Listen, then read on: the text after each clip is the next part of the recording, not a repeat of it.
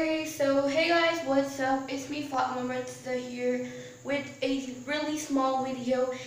I'm like making this video to let y'all know that I'm not gonna post till 27th of October due to my exams.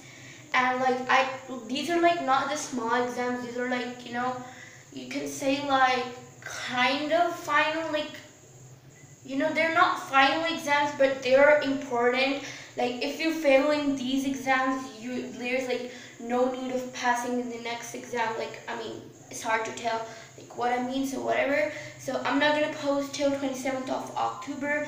So yeah, and just subscribe to this channel. And yeah, peace.